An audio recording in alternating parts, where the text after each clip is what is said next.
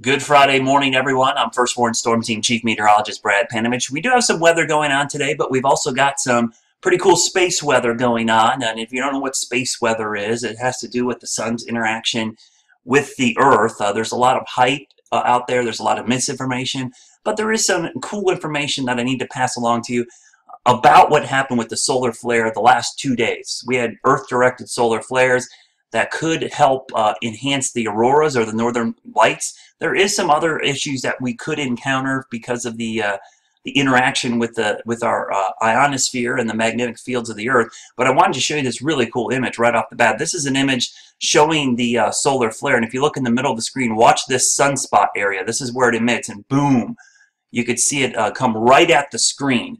Uh, the reason this is a significant solar flare, it was an X-class flare, which we, you know, we use those to kind of figure out the level of flaring. Um, this is at the highest level. Now, there's a, once you get to the X level, there's a one, there's a numeric scale as well. This was at the lower end of the X scale, so this was an X 1.6 or so. Um, we've had much bigger, but the thing that's interesting about this flare is it was directly right at the Earth. So what you're looking at here is a, a, a model of what is heading our way. These are called coronal mass ejections. I know that's a really fancy name, sounds really crazy. What it is is a big burst of electrons and protons in the solar wind. And if you look carefully, the Earth is this green dot and the sun is that yellow dot. And these two little look like waves. These are the CMEs or the coronal mass ejections. They're both heading right at the Earth. And the first one is arriving right now. And when you look at the model, you see the little peak in green here um, off to the right, and then you see a secondary peak. There's a chance these two can combine, and that's why, even though the flare was pretty large, the geomagnetic storm could be pretty significant because both of these flares, uh, CMEs, are going to come together and possibly cause some interruptions in satellite data, uh, maybe interruptions in, in, GPS and power grids. Um, this is a look at the geomagnetic storm and just uh, storm scale. And right now we're forecasting a G3, which is right in the middle. It's considered strong. And this is not the big doomsday scenario a lot of people think of. That is a possibility at some point. If we get a big solar flare at some point, um, this can play havoc with the power grids. Uh, these protons and electrons in the solar wind interact with power lines, they interact with piping and plumbing, and they induce a charge. They can actually create like a power surge. And so uh, when you look here, you see power systems corrections to voltage. That means the, the power companies are going to have to play with their voltage because there will be surge. False alarms are triggered. You can get um, you know, a lot of circuit breakers to pop, protective systems like that. Um, spacecraft, this is really big for, for satellites. This creates a lot of drag on them. Could There needs to be correction.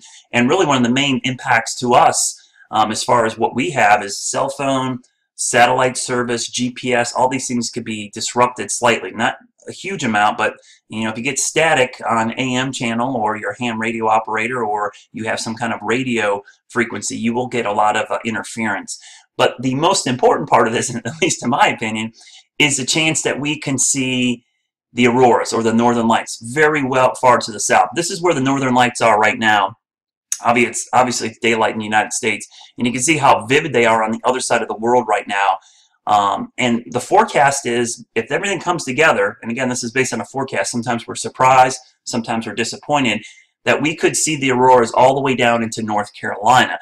And this map shows a pretty good indication. The high latitude line, which is the kind of yellow line north, there's a 100% chance of auroras tonight.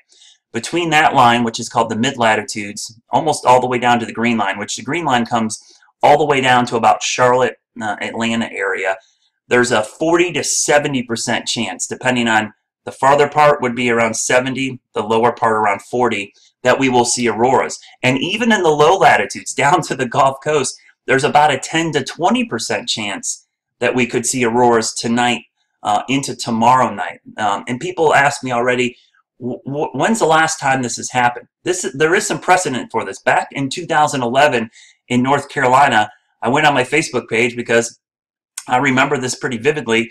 This was the aurora on October 24th, 2011 in Stanly County, just to the east of Charlotte. Uh, Marty Couple sent this to me. She lives in Norwood.